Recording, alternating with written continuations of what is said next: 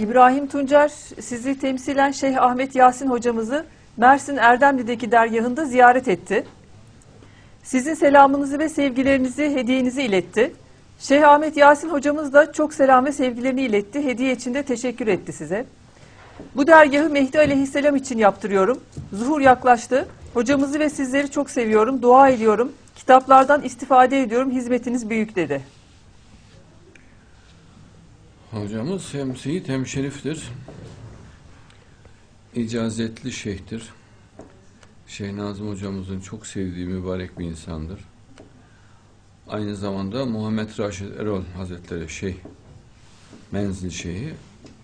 Oradan da icazetlidir ayrıca. Yani çifte icazet sahibidir. Mübarek, muhterem, müberra, muhlis, halis, samimi, gerçek bir mümindir. Allah ömrüne bereket versin, sağlık, sıhhat, afiyet versin. Cennet sofralarında kardeş etsin. İnşallah. Hocamızın hizmetçisiyiz. Allah bereketle, nurla sarsın onu.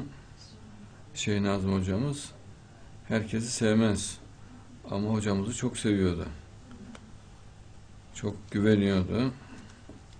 O da onu canı gibi severdi. O da ona çok güvenirdi. İnşallah hep beraber cennette birlikte olacağız. Allah nasip ederse.